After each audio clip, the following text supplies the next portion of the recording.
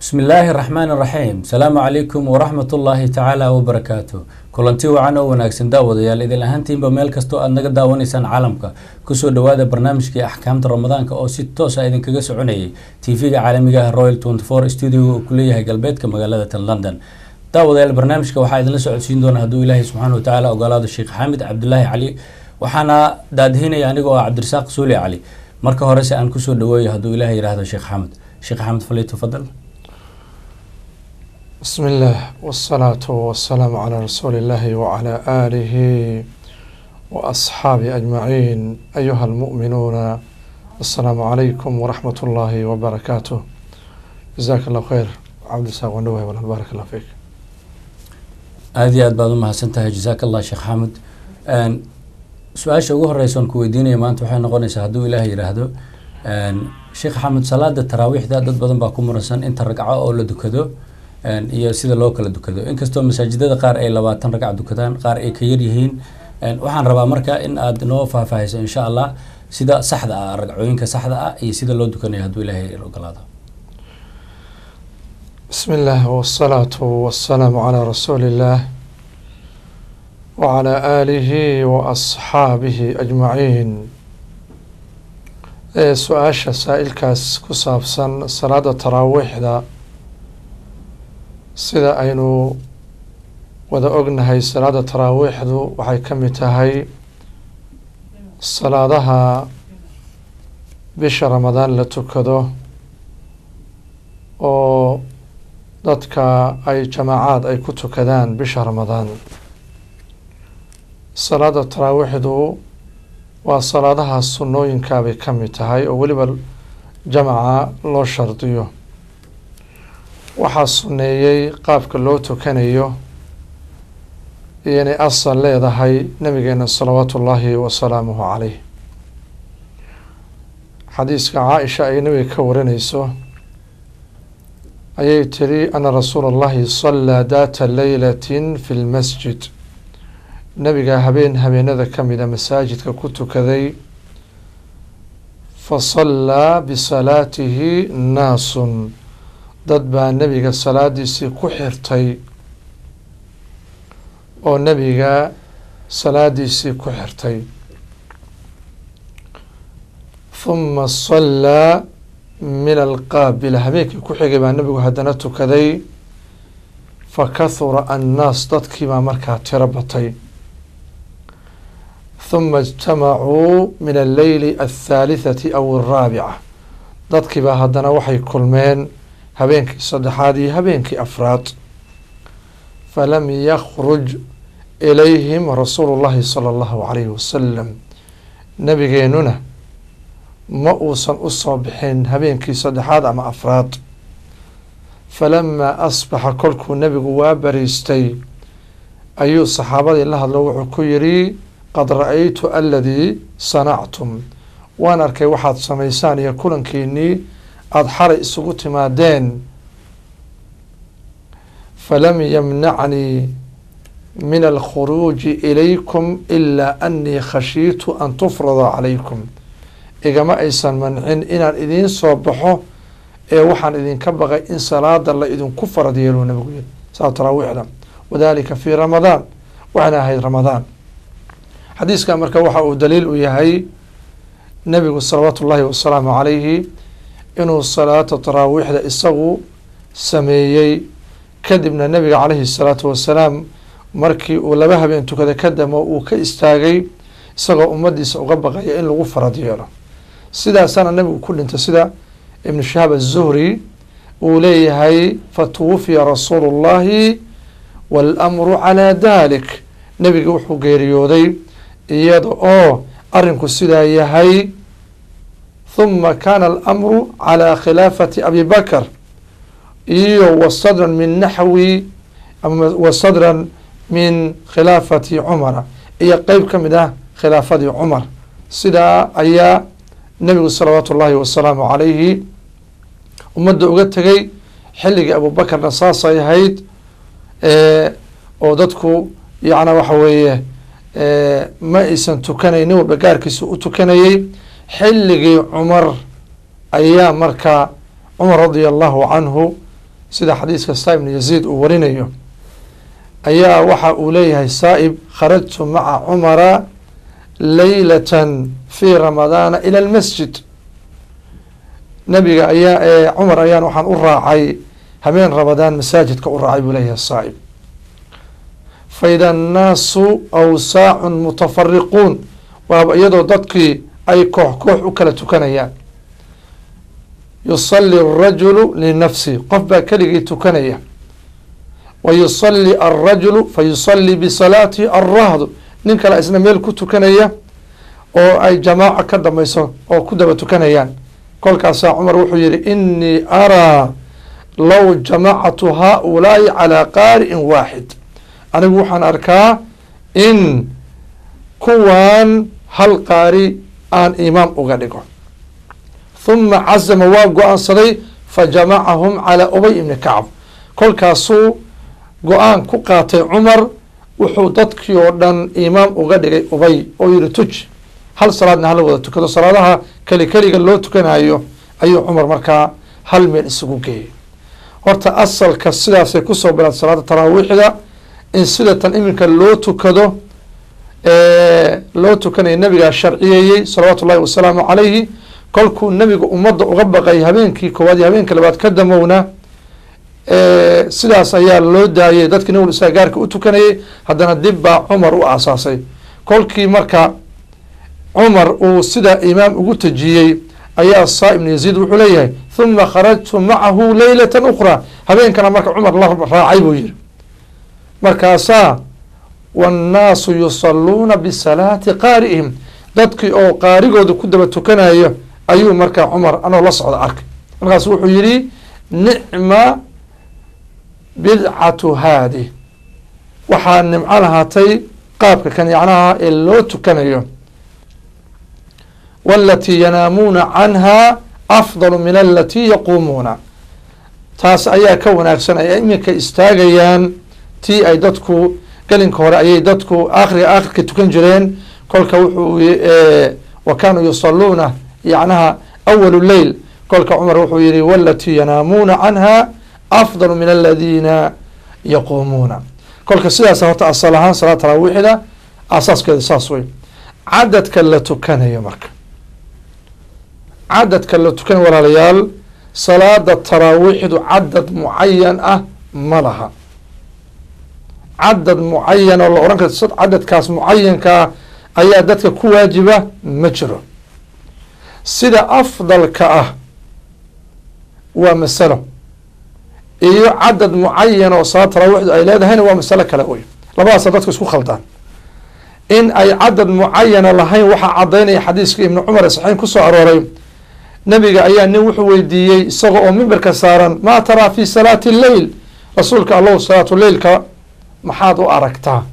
Sa u aragtaa. Markaasuu nabigu yidhi mathna mathna labo labo weeye salaatu leylka oo laba ragcad baa la tukanaya waa la salaamo noqsanaya laba ragcad baa la tukanaya haakada fa idaa khashiya asubxa qofka haddii uu salaada subax ka baqo sallaa waaxidatan mid buu tukanayaa. Fa awtarat lahu maa salla ragcadda uu tukay ayaa witr waxay u noqonaysaa intii uu tukaday. Walidaalika salaada taraawiixdu cadad mucayan oo laleey cadadkaas ayaa yacnaha aysan dhaafi karin ma jiro. Sidee baa fadli badan waxaa fadli badan kow iyo toban ragcadood in la tukado? Waxaana u daliila xadiiska caaisha radia allahu canha ee nabiga ay kori saxiin ku soo arooray.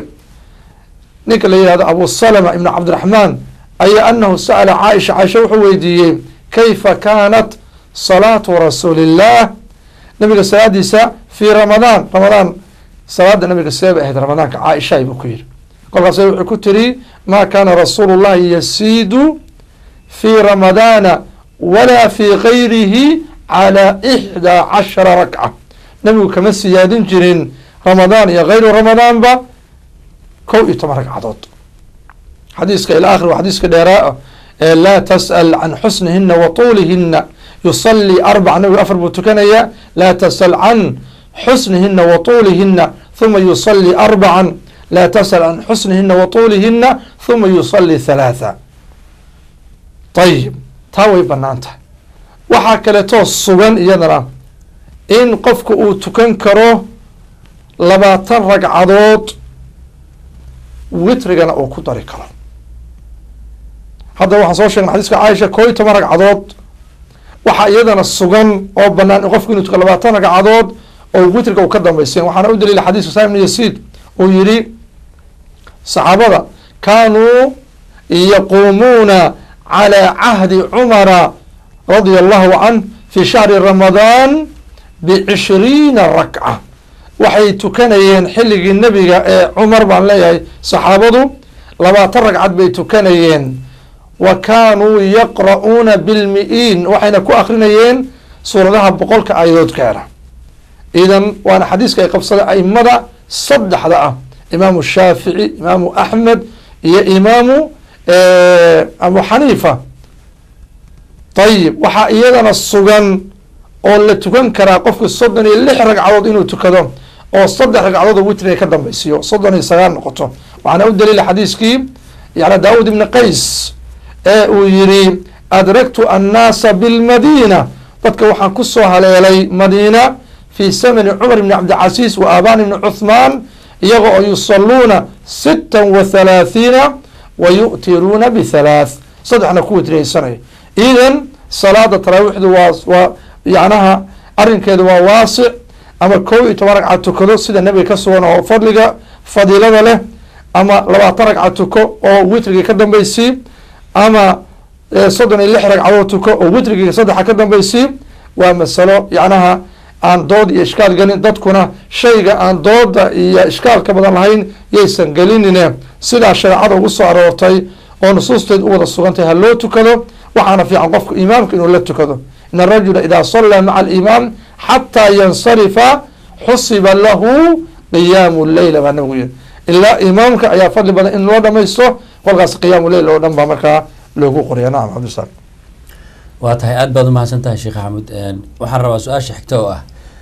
Sidaan ogsoonahay sheekh axmed dad badan ayaa waxay isticmaalaan daawo. Daawooyinkaasi qaar ka mid a waxaa la iskaga shubaa sanka qaar baa dhagaha la iskaga shubaa qaar baa indhaha la iskaga shubaa. Dad badan oo high fever qaba ayaa daawooyinkaa isticmaala. Ramadaanka maxay u dhibi kartaa dawadaas ayada ah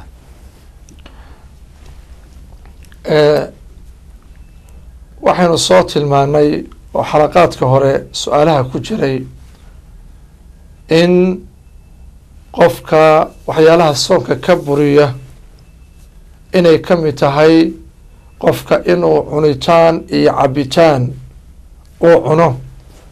Shayga ama afka ha ka qaato ama sanka ha ka qaato kolba haddii cunitaan iyo cabitaan yacnaha qofka labada madkhal uu ka galo isagoo arrinkaa og waxa weeye soonka waa ka jabaya masalada marka su'aashu ay ku tacalluqdo oo haddii qofku dawo isaga shubo isha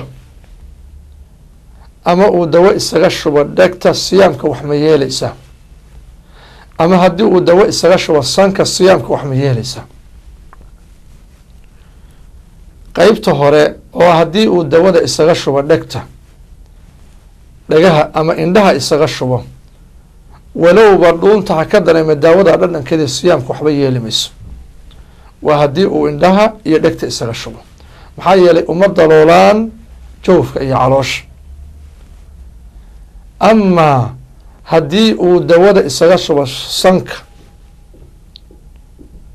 oo dawooyinkan nooc waxaa jira sida hadda asmada waxaan leeyahay xanuunkan hadda la sheegaya allergiga ah su'aasha ay ku timi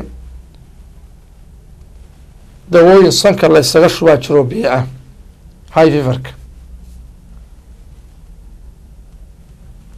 dawada noocaas ee sanka la iska gelinayo ee dhuunta gaari siyaamka waa jibinaysaa oo weliba biyaha ah. Maxaa yeelay sanku wuxuu u daloolaa caloosha. Waxaana u daliilah in ay jaminayso xadiiskii sab ee laqiid ibna sabira ee ku soo arooray istinshaaqa iyo weesaqaadka ee nabigu yiri baaliq ku xeel dheer yacnaha asbiq alwuduu'a wakhallil bayna alasaabic wabaaliq fi listinshaaqi ilaa an takuuna saa'ima weesada dhammaystir oo ku xeel dheeraw oo kaamil yeel xubnihii iyo meesha weesada la gaarsiinayo. Yacnaha faraha lugaha iyo kuwa gacmahana biyaha dhexdooda gaarsiin. Sandaarsigana ku xeel dheerow markaa sandaarsanaysid ilaa inaad tahay qof sooman ma ahan saa darteed daawooyinka sucuudka ee sanka la isaga shubayo siyaamka way jebinayaan ama ha noqoto wax biyo ah ama ha noqoto yacnaha falibo sanka la iska siiyo wax alla wixii sanka ku xeel dheeraanaya ama weesaqaadka biyaha lagu sandaarsanayo oo qofka ula kaco inuu biyaha aada sanka u gaarsiiyo ilaa marinka u gaarsiiyo biyihii markaa noqo siyaamka wuu ku jabaya daawooyinka noocaas oo kaleetaa ee qofku uu sanka ka isticmaalayo waxaa fiican habeenka inuu isticmaalo. Haddii uu sanka ka isticmaalo shay liquid oo biyo ah siyaamka waa ka jabaya xadiiskaasaana u daliila. Nacam aada iyo aad baad umahadsan tahay sheekh axmed inta aanan telefoonka u jaleecsan dhinaciisoonan qaban waxaan rabaa inaan su'aal kale raacsado. Waxaa iga warantaa salaada loo yaqaano wadriga ee la dukado. Xilliga ugu wanaagsan iyo cadadeeda iyo sida ay salaadaasi ku haboon tahay. Salaatu salaada witrig la yihahdo waa sunnooyinka mu'akadka awey ee nabigeena salawaatu ullaahi wasalaamu calayhi ummadda u sharciyeeyey farayna xadiiska cali ee sunanka ku soo arooray afarta. Nebigu wuxuu yihi ina allaha witrun yuxibu lwitra fa awtiruu ya ahla alqur'aan ilaahay waa witri witrigana waa jecel yahay ee witriyeysta dadka ahlo qur'aanka aho. Kadalika xadiiska ibnu cumar ee ku soo arooray saxiixeynka ee nabigeena uu yihi ijcaluu aakhira salaatikum bileyli witra ka yeela. salaadiina aakhirkeeda habeenkii witri ka yeela. bal nabigeena salawaatu ullahi wasalaamu caleyh xataa isagoo safar ku jira ayuu witriyeysan jiray. sida xadiiska ibnu cumar fi saxeyn ku soo arooray kaana rasuulu llahi yusallii fi safari calaa raaxilatihi xayثu tawajahat bihi imaءa salaata alleyl ila alfaraa'ida wa yu'tiru calaa raaxilatih marka nebigu qowl ahaan iyo ficil ahaan way uga sugan tahay salawaatu ullahi wasalaamu caleyh inay sunno tahayna oo weliba sunanka la adkeeyana oo aysan waajib ahaynna aimada jamhuurkeeda qaba marka laga reebo abu xaniifa waxaana u dalila xadiiskii micraajka ku soo arooray aakhirka dambeeto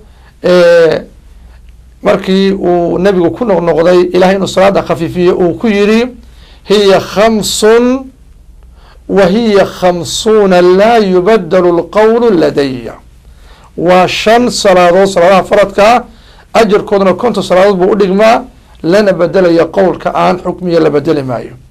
Halkan waxaa laga qaadanayaa in salaada witriga ay tahay sunno ay tahay oo sunnooyinka mu'akadka. ah goormaa la tukanaya.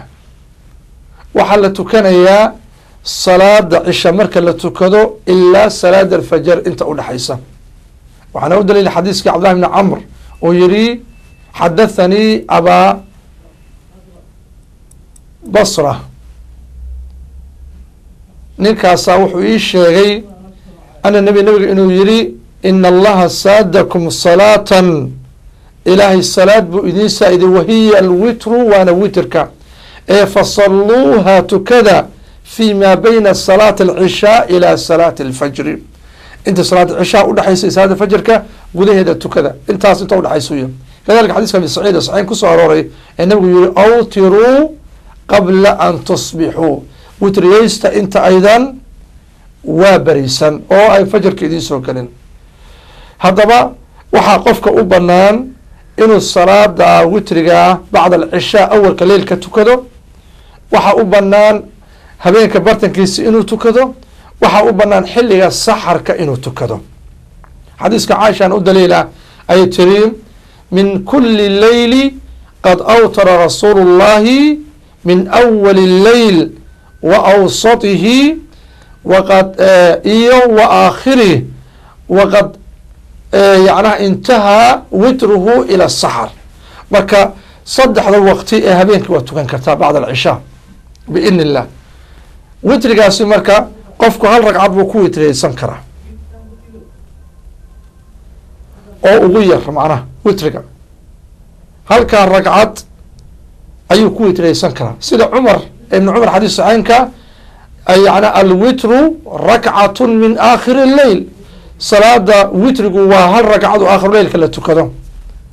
Sidoo kaleeto xadiiska ibn cumar haddaan soo maraynay fa idaa khashiya asubxa sallaa waaxidatan a mid buu tukanayaa fa awtrad lahu ma qad salla. Kadalika xadiiska abi muleyka oo yihi ibn cabaas baa waxaa la weydiiyey. Faqil ibn cabaas hal taraa ama hal laka fi amiiri lmu'miniina mucaawiya?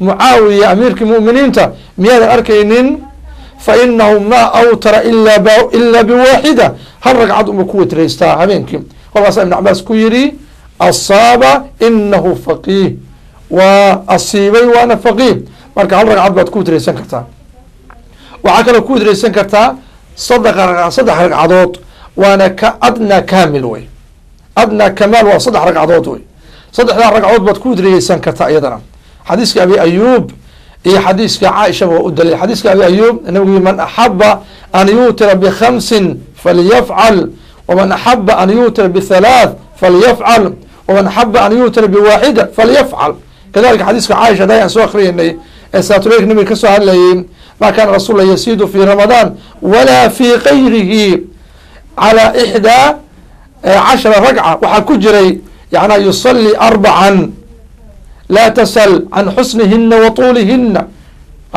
huma yusalii arbacan laa tasal can xusnihina wa tuulihina huma yusalii halaathan saddex buu markaa tukanaya shan iyo in la tukan karo iyona xadiiska abu ayuub sidoo kaleeto toddobuu tukan karaa sagaal waa tukan kara sida xadiiska caaisha ee muslim ku soo arooray marka intaasuu qofka ku witriyeysan karaa waxaana fiican witriga inuu ka dhigo aakhiru leyl insha allah aada iyo aad baa umahadsantahay sheekh axmed weli waxaynu bartan kaga jirnaa barnaamijkeenii axkaamta ramadaanka ee t v-ga caalamiga ah royal waxaan u malaynayaa qadka telefoonka ayaa lagu jiraa halo halo asalaamu calaykum ku soo dhawo waraal wacalaykum asalaam waraxmatullahi wabarakaatu haye ku soo dhawo barnaamijka magacaagi meeshaad naga soo wacayso walaal xayaad cabdi jaac baa la yidhaahdaa waxaan weydiinayaa sheekha saddex su'aalood oo kooban haye walaal waxaan weydiinayaa anigoo sooman ayaan xanuunsaday marka soonkii waan jebiyey markaan xumadii xamili waayey wax qabsi la ydhaha oo dadka calooshaa layga qabtay.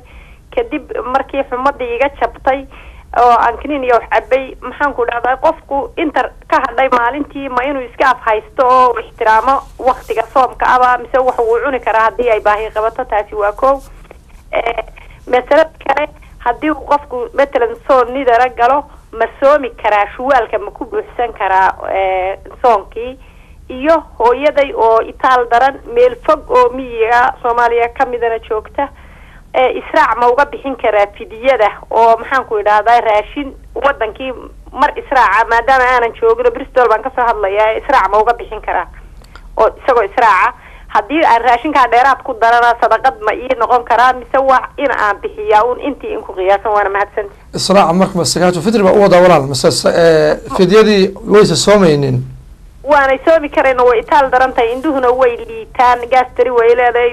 Waxa weeyaan fidi kafaara gudkii raashinka laga bixin marka ma qof da aada u da-weyn ba mise waa xanuun? Darteed bay la soomi la-da aad iyo aadna way u da-weynto sideetan bay ku ogog leedahay. Ilaa toddobaad sideetan inta udhaxaysa indhu waa daciif. Gaastari bay leedahay. Marka xanuun iyo da-ba way wada haysaa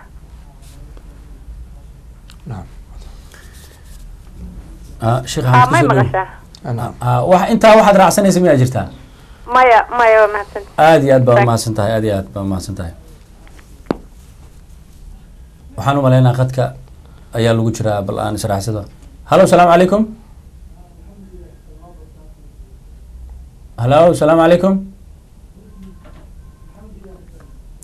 qofkaas ma maqalnaa u malaynaya halo asalaamu calaykum halo asalaamu calaykum ah, walaal ku soo dhawo barnaamijka? Magacaaga iyo meesha aad naga soo wacayso magacayga waa umu maxamed. Haye sheekaan raba inaan su'aal weydiiyo. Haye ku soo dhawo ha walaal waxaan rabay inaan sheeka weydiiyo. Qof haddii uu uu dahab haysto adiga saddex boqol oo garaan camal meeq meeqa uu bixinayaa sekada dahabka.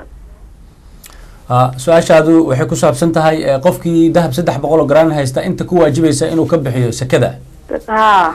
Aad iyo aad maxaa intaas raacsanaysaa may walaal intaasaan weydiin lahaa aad iyo aad baa umahadsan tahay umu maxamed sheekh iyo xaamid su'aalihii hore oo ku saabsanaya soonka nidirka ahaa iyo gabadhii qabsinka ka xanuunsaneed iyo maaragtay inay hooyadeed ka bixiso israaca. Eh, su'aasha koowaad gabdhaha gabadhaas hore ee tiri anoo sooman ayaan xanuunsaday. Kadibna soonkii qabsima ay qabto waan xamili waay waan afuray. Inta ka hadhay maalintii miyaan afaysanaya? Horta awalan eh, siyaamkaasi aada afurtay adoo sooman khiyaar waxaad u lahayd yacnaha cudurdaar baad lahayd oo ilaahay subxaanahu watacaala waa kuu baneeyay inaad afurto maadaama xanuun ku qabtay aadna wadi weyday. Ilahay wuxuu leeyay faman kaana minkum mariida aw calaa safarin facidatu min ayaamin ukhar ayaamaha kaluu qofku soo qadeynaya marka maalinta waad soo qadeynaysaa miyaad afaysanaysaa? Inta ka hadhay waktiga maadaama xanuunka kaa go'ay maya ma afaysanaysid waad afurnaanaysaa maxaa yeele cudurdaar baad ku afurtay. Waatuu cabdillahi mascuud yiri man akala awala alyowm falyakul aakhira. Qofka awalka hore ramadaanka cuna maalintii galinka dambena ha cuno. Kadalika xadiiska abu muusa anas waatuu ku yiri waxaa anas la ii sheegay inaad baxdid adiga oo sooman waxaadna soo gashay adoo sooman. Ee haddaad baxaysidna adoo afuran bax haddii aad soo gashin adoo afuran. Marka waxba soo afaysan maysid maadaama aad cudurdaar ku afurtay. Waa masale ahlucilmigu ka doodaanoo qofka musaafirka hadduu magaaladiisii gaaro oo maantoo musaafir ku jiray oo gaaro inta ka dhiman miyuu afaysanaya gabadha xaydka uu ka go'ay ramadaanka gudihiisa maalintii oo markaa qeyb weli u sii harsan tahay miyay afaysanaysaa? Qofkii yacna waxa saas oo kaleeto caafimaada isagoo xanuunsan kulli waxa weeye sida raajix ahi maadaama dadkaas cudurdaar ay ku wada afureen awalkii hore aakhirkana waa u banaanta masalada kale ee ahayd hooyadeed. Hooyaday israac ma ka bixin karaa? Ee saka hooyo hooyo hadday da-weyn tahay oo ay soomi weyday liajli da-weyni darteed ee waxay ka mid tahay dadka loo baneeyey inay fidyada bixiyaan. Oo ilaahay culayska ramadaanka maadaama aysan awoodi karin wuu ka dejiyey rabbi subxaanahu wa tacaala oo rabbi wuxuu yihi wacala aladiina yutiiquunahu fityatun طacaamu miskiin walidalika ibn cabaas yihahdaa hiya lishaykhi اlkabiir wاlmarأati اlkabiira laa yutiiqaani asawma fayudcimaani makana kuli yowmi miskiina marka maalin kasta mud ayaad ka bixinaysaa hooyada inta ramadaanku uu noqdo cadadkiisu hadduu sagaal labaatan noqdo sagaal labaatan cashaad ka bixin hadduu soddon casho noqdo soddon casho ayaad ka bixinaysaa maalin kasta miskiin aa mudsiisid waa ku bannaan tahay. Inaad dhammaantii soddonkii maalmood ama labaatankii sagaal labaatankii casho intaad isku wada dartid fidyadoodii inaad masaakiin isugu yeertid soddon ah oo aad casho uga dhigtaan oo hilibiya ugu samaysaan na waad heli kartaa. Sida anas uu yeeli jira markuu gaboobay intuu khubus iyo hilib isku samey ayuu masaakiinta sidaa ku siinay. Marka labada way ku banaantay inaad keli keli masaakiin usiisid maalin kasta mud iyo in aad hal mar wada samaysa labada way ku banaantay su'aasha labaad waxay tii soom nadar ah shawaal ma ku gudan karaa saasaan filaya inay tiri soonka nadarka wuxuu ka mid yahay asalka shareecadeenna soon waajib oo faral soonka bisha ramadaan keliya jira. Allahuma soonka qofku isagu nadray ama soonka kafaaraadka ama dadka xajka ku dila yacnaha xayawaan oo markaa jazaa-u sayd sameynaya laakiin asalka siyaamka u waajib qofka ku ah. Ma ujeeda walidalika xadiiskii طalxa ibn cubaydillahi ninkii caraabiga nabiga u yimi ee yihi rasuulka allow maa farad allahu calaya min asiyaam nabigu wuxuu yihi shahra ramadaan ilaa an tatawaca shay-a. Xadiiskaasa marka wuxuu asal ee culimmadu ay uga dhigayaan soon waajiba waxa uun jira soonka bisha ramadaan waxaa marka soo haray sooman dadku isku waajibiyeen ama kuwa kafaaraada soonka dadku isku waajibiyeen ama nadran waxaa ka mid ah soonka nadarka ah.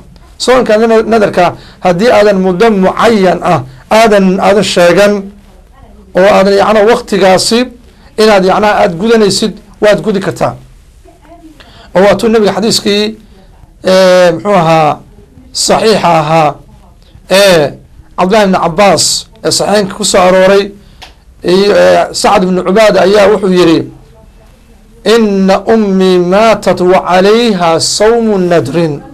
Hooyadii way geerat iyadoo sowm nadar lagu leeyahay kolkaasaa nabigu wuxuu ku yihi iqdihi canha ka gud buu yihi marka waa inaad iska gudaa shawaal ma ku gudan kartaa. Shawaal waad ku gudan kartaa. Shawaal marka ciidda laga baxo oo la iideysto kadib waad gudan kartaa walaal waad ku gudan kartaa. Waxba dhibaato amale aada iyo aad baad umahadsan tahay umu maxamed su'aasheena weydiisa waxay ahayd saddex boqol oo gram oo dahaba imisa ayaa sika kaga waajibta waan ka bixinaya? Boqolkiiba imisa dahabka shuruud buu leeyahy awalan qofka dahabka haysta ama lacagta haysta shan shardi baa laga rabaa. Qofkaas horta inaa qof muslim uu yahay. Kow waa inuu yahay qof xor ah waa inuu yahay qof mulkigiisa uu taam yahay shaygan dahabka haysto. Waa in uu xawl ka soo wareego waa inuu nisaabna leeyahay. Nisaabka dahabku marka waxa weeye waa labaatan yacnaha muxuu ahaa culayskiisu waa inuu gaaraa labaatan mithqaal oo u dhiganta siddeetan iyo shan yacnaha garaam haddii dahabku culayskiisa uu gaaro siddeetan iyo shan garaam haddii uu gaaro dahabka nisaabkii uu sakadu ku waajibi lahayd waa uu gaaray. Wabitaali waxaa laga bixinayaa rubucu lcushur laba iyo bar baa laga bixinaya. Gabadha saddexda boqol ee dirha yacna haysato marka garaam haysata siddeetan iyo shantii garaamba waxaa ku waajibaya zako ilaa yacnaa nisaabkii aad ka dhamaysid inta kuu soo hadha ee aan nisaabka aan gaarsiisnayn adaa khiyaar u leh. Ama zako ka bixi intaa doonti ka bixi marka marka la qadaro ama yacnaha hadduusan gaarin ha ka bixin. Laakiin inta gaadhay siddeetan iyo shan iyo siddeetan iyo shan iyo siddeetan iyo shan inta ka soo hadha haddaysan nisaabkii ka dha aysan gaaraynin adaa khiyaar ule intaa ka bixinaysa inta laga bixinaya waa laba iyo bar nisaabkuna waa siddeetan iyo shan gram nacam aada iyo aad baa umahadsantaha sheekh axmed. Su'aal la xiriirta arrinta caafimaadka dhinacana maaragtay kala mid ah dawooyinka hadda aan ku soo weydiinaya ayaan rabaa inaan dib kugu soo celiyo. Sheekh axmed waxaad iiga warantaa dad badan oo waxaa jira cudurka neefta qaba isla markaasna marmarka qaar si emergency ah ay u noqonayso inay u isticmaalaan. Markii neefta ay dareemaan inay u isticmaalaan badankan yare ay u isticmaalaan hawada ka qaataan oxygenka ah. Ayada dadka sooman bishii ramadaanka maxay arintaasi ka qabtaa oo aada isleedahay waa ramadaankoodii way ku keeni kartaa haddii ay u isticmaalaan.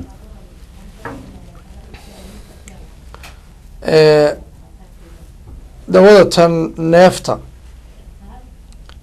ee loogu talagalay qanawaadka neefta ee ri'aga inay furto sambabada inay yacnaha u fududeyso inay neefsadaan ee yartaa ee laysku buufiyo ee qaaca camal oo kale ah ee dadka asmada qabaa ay isticmaalaan ee ay afka isaga buufiyaan cunto ma aha wax cunto u dhigmana ma aha. Dawada noocaas oo kaleeto ah sheekh ibnu baas raximah llahu iyo sheekh cuthaymiin labaduba waxay leeyihiin siyaamka waxba yeeli mayso maxaa yeelay waa wax aan caloosha gaarayn oo hawo ah oo qofka u fududeynaya keliya inuu neefsado. Sida neefta aynu qaadanayno oo kale wey marka maadaamaysan cuntona ahayn cuntona u dhigmin naqaska yarkaa qofka isku buufinaya asmada qaba waa bannaan tahay inuu isagoo sooman isticmaalo. Sidaasaana sheekh ibnu baas iyo sheekh cuthaymiin raximah llahu ay fadwoodeen waana sida raajixa insha allah. Aada iyo aad baad umahadsan tahay. Su'aal ka imaatay mid kamida dadka nagala soo xiriira caalamka daafihiisa ayaa wuxuuna weydiinayaa sheekh axmed. Wuxuu leeyahay salaada ayaan galaa marmarka qaar waxaa dhacda anigoo salaada ku jira ayaan waxaan dareemaa sahwi waan waxaan ku laba shakiyaa oo macnaha markaas aan isku khaldaa intii ragcadood aan hore u dukaday iyo inta ragcoo ii dhiman. Marka sidaas darteed haddii ay noqoto inaan shakiyey aanan nasixi karin wixii aan ragcadihii aan soo maray iyo kuwa ii dhiman sideen ku xallin karaa salaadeyda ay ansax ku noqonaysaa shuruuddeeduse maxay tahay? Runtii waa su'aal aada u weyn oo aada u guda dheer waa sujuudu sahwiga ku tacalluqdaa su'aashaasi. Waan soo koobayaase insha allah. Sujuudu sahwiga waxaa la tukadaa kolka salaada khalal uu ku yimaado. Oo salaadii ama qofku wax ka tago qeyb ka mid ah. Ama uu saa-idiyo salaadii ragcaadkeeda ama uu shakiyo. Waxaa ijmaacoodooda ka taagnayn meesha uu ku shakiyey inuusan salaadii sujuud kula imaaneyn ee salaada aakhirkeeda uu kula imaanay taas dood kama taagna. Ayib asalkana sujuudu sahwigu waa shay waajib oo qofka haddii uu rugni ka tago ama waajib uu ka tago ama uu sunno ka tago uu la imaanayo. Waxaana u daliila xadiiska abi saciid alkhudriy oo weliba su'aasha naftigeeda hadda la weydiinaya ku tacalluqda. Nabigeena salawaatu ullahi wasalaamu aleyh waxa uu yihi idaa shaka axadukum fi salaatihi qofkiin haddii salaadiisa uu ka shakiyo oo falam yadri uusan garanaynin kam sallaa halaathan aw arbaca imisuu tukaday ma garanayo saddex miyaa mise afar nabigu wuxuu yihi falyadrax ashaka shakiga ha iska tuuro. waliyabni calaa ma calaa ma stayqana hana waxa ku dhiso inta uu yaqiinsan yahayna waxa ku dhiso huma yasjudu sajdatayni dabeedna ha sujuudo laba ragcadood buu nabigu yihi salawaatu ullahi wasalaamu caleyh labadaa ragcadoodna wuxuu tukanayay sujuudayaa qabla an yusalima intuusa salaamo noqsan. Kolkaasaa nabigu wuxuu yihi fain kaana sallaa khamsan haddii uu tukaday shan ragcadood shafacna lahu salaata salaadiisiibay hadduu macnaha afartii ay salaad u ahayd marka oo markaa marka sujuud sahwi ku darayna ay shan noqotay macnaha cafan ay saddex u tukaday baan leeyahay oo shan noqotay. Fa in kaana sallaa khamsan haddii uu shan tukaday buu nabigu yihi salawatu llahi wasalaamu calayhi shafacna lahu salaatahu. Salaadiisay yacnaha shafac uga dhigaysa wa in kaana sallaa itmaama liarbac haddiise uu tukaday in afar u dhammaystiraysa kaana taa tarkiima lishaytaan. Shaytaanka ayay yacnaha ciid kaga shubaysaa indhaha oo yacnaha shaydaanka ayay aya ayay ka ka xanaajinaysaa. Kolka salaada la yidhaahdo salaada sujuudu sahwiga asalkeedu waa mashruuc. Waxaana loo idaafeeyey waa inuu sahwi jiraa lama rabo salaadii inaad ragcad ama qeyb ka mid salaada inaad uga tagtid kas haddaad salaadii rukni ka mid ah mathalan qiyaam ama rukuuc ama sujuud aad ka tagtid ama ficil aad ku dartid salaada salaadaadiba waa buraysaa baatil bay noqonaysaa. Walidaalika ayaa la leeyahay sujuudu sahwi waa sahwi bay ku timaadaa. Qof sahwiyey unbaa yacnaha oan u qastin baa salaada sujuud sahwi la imaanaya. Saddex nooc bay marka ku timaadaa sujuud sahwi ima inaad siyaado la timi salaadii gudaheedi. Wa ima inaad naqsi la timi wa ima inaad shakiday. Oo cadadkii aadan kala garanayn. Haddii aad siyaado la timi oo salaadaadii aad siyaadisay xadiiska cabdillahi bin mascuud cinda muslim baad ku dhaqmaysaa. Nabigaa shan salaadood tukaday iyadoo duhur la joogo. Kolkuu ka baxay ayaa tawashwashan alqowmu baynum dadkii baa wareeray oo isku buuqay kolkaasaa nabig wuxuu ku yihi maa sha'nukum? Maxaa idinku dhacay? Oo la qaylinaysaan oo u doodaysaan kolkaase waxay yidhahdeen hal siida fi salaa rasulka al salaadii miyaa la saa-idiyey. Nabigana wuxuu ku yihi salawatu llahi wasalaamu aleyh la maya. Kolkaase waxay ku yidhaahdeen fa inaka qad sallayta khamsa. Rasuulka allahu haddaba salaadii shan baa marka tukatay. Kolkaasuu nabigu fanfatala intuu jeestay buu yacnaha laba yacnaha laba sujuud sahwi sameeyey. Fasajada sajdatayni huma salama nabigu waa salaamo noqsaday kolkaasu wuxuu yihi inamaa ana inamaa ana basharu mithlukum ansaa kamaa tansawna ee fa idaa nasiya axadukum falyasjud sajdatayn. Qofkiin hadduu hilmaamo laba ragcad ha tukado marka qofka hadduu siyaado la yimaado oo salaadii yacnaha siyaado kula yimaado inta uu salaada ka bixin buu sujuud sahwi tukanaya. Haddii uu salaadii sii nusqaamiyo oo haddana siyaado kula yimaadana siyaa salaadiisiina waa uu tukanayaa siyaadada uu la yimina sujuudu sahwi buu ku kabaya waxaan u dilay xadiiskii dulyadayn ee ku soo arooray saxiixeynka iyo xadiiskii mxuu ahaa isagana ku soo arooray muslim saxaabigii jaliilka ahaa cimraan bn xusein taa waxa weeye haddii uu yacnaha salaadiis oo naqsi kaga baxo haddii salaadiisii uu yacnaha oo aan kaamil ahayn wuxuu la imaanayaa inta markuu tukado ka damo buu la imaanaya. Haddii salaadii naqsi uu kula yimaado marka oo waajibaadkii salaada uu ka tago mathalan ataxiyaadkii buu ka tegay. Xadiiskii cabdullaahi ibnu buxayna buu ku dhaqmayaayo nebiga ayaa salaada duhur. Dad saxaabada tujinaya ana nabiya sallaa saxaabadii duhurkii buu tujiyey laba ragcadood kolkaasuu istaagay nebigu fa qaama annaasu maca dadkina waa la istaageen. Xataa intahaa nebiga ilaa uu salaadii uu gabagabeeyey iyagoo dadkii sugayaan inuu nebigu salaamo noqsado ayaa nebigu allahu akbar yidhi isagoo fadhiya kolkaasuu laba sujuudood sujuuday kolkaasuu nebigu salaamo noqsaday. Kolka haddii waajibaadka salaada aada salaadii ka tagtidna intaadan salaamo noqsan baad la imaanaysaa. Maxaa ku soo haray marka shakigiiba marka shakigu laba arrin buu uqeybsamaa haddaad cadadka ragcaadka aada hubtid xadiiskii abi saciid baad ku dhaqmaysaayo shakigana waad tuuraysaa inta sawaabkana waad la imaanaysaa oo salaadaadii yacna wey intaad haysatid baa wax ku dhisaysaa intaada salaama noqsanna waad yacnaha sujuud sahwigaad la imaanaysaa. Haddiise aadan hubin cadadka ragcaadka oo danigaaga uusan qaalib u ahayn inta aad tukatay.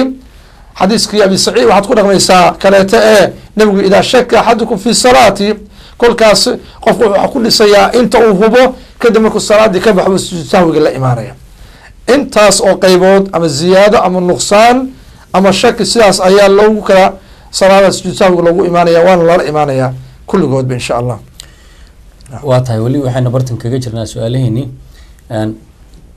sheekh xamed qof ayaa wuxuuna weydiinaya wuxuu yihi waxaan ahay musaafir. Aeroboortka gudihiisa anigoo jooga ayaa waxaa igu galay afurkii waan afuray. Isla mar ahaantaas diyaaraddii ayaa kacday hawada ayaan galnay.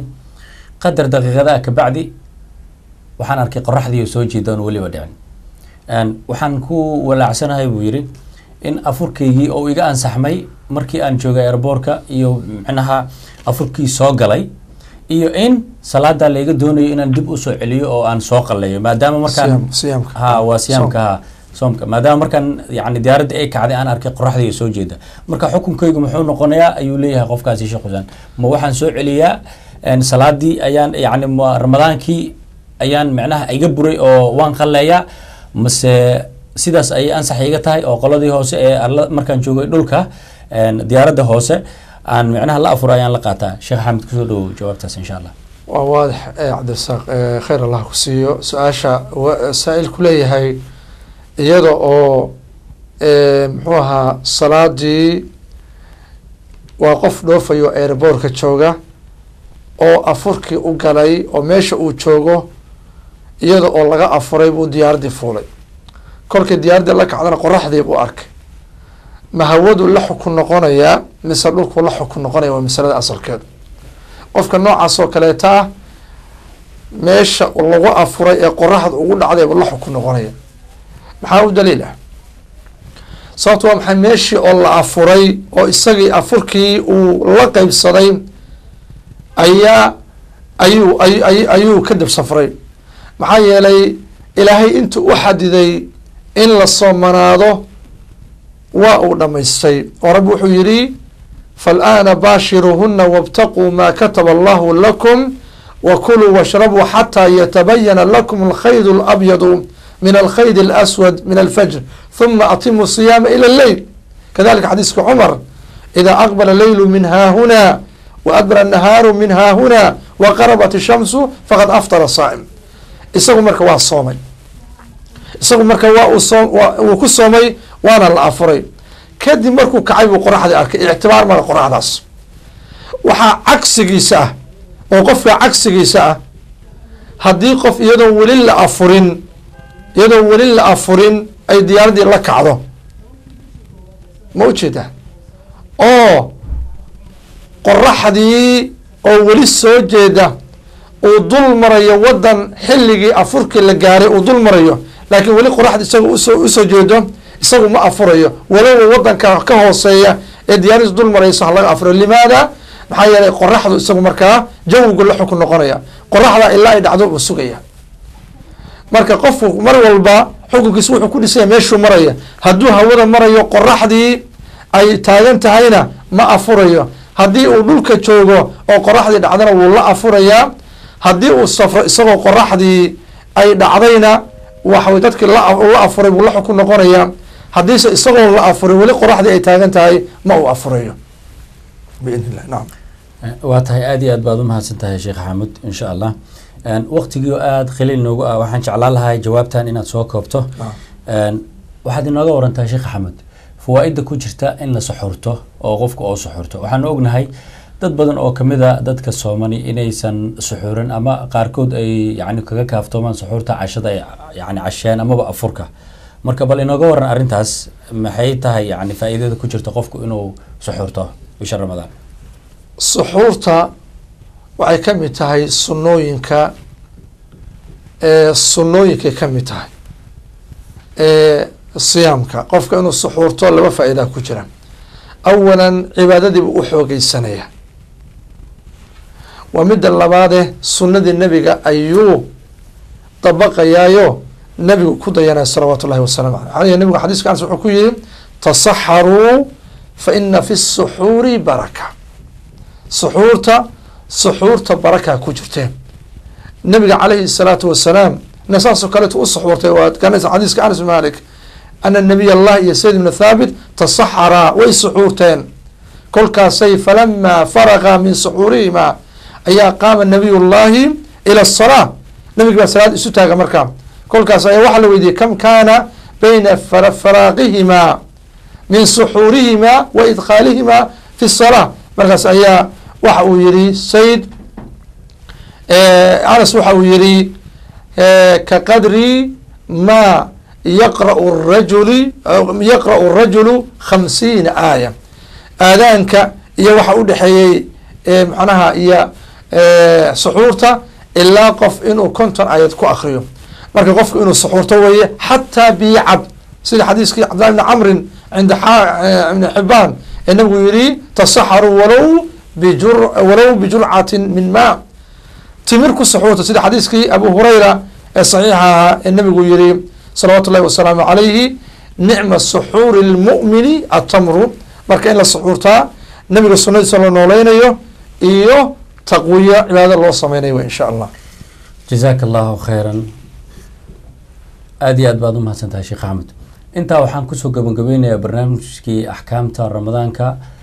Daawadayaal aada iyo aad baad umahadsan tihiin inta isku dayday inay nala soo xiriirto iyo inta nala soo xiriirtay iyo inta damacsan inay dib nagala soo xiriirto intaba aad iyo aad baad umahadsan tihiin barnaamijkan waxaa igala qeyb qaadanaya sheekh xaamid cabdulaahi cali oo badanaaba barnaamijkan si toosa idinkaga soo daaya t v-ga caalamiga ah royal stuudioga uu ku leeyahay galbeedka magaalada london. Farsamada quruxda badan leh hawada idiin soo maraysa aada ujeedaan waxaa sidaan u daadihinaya naasir yare ood aragtaan. Farsamadiisa aad iyo aad buu umahadsan yahay isagana mahad gaaraan u celinayaa barnaamijka waxaa idinla socodsiinaya anigoo ah cabdirasaaq suule cali intaan barnaamij kan lamida ku kulmayno ramadaan mubaarak kula caam wa antum bikhayr asalaamu calaykum waraxmat tacaala wabarakaatu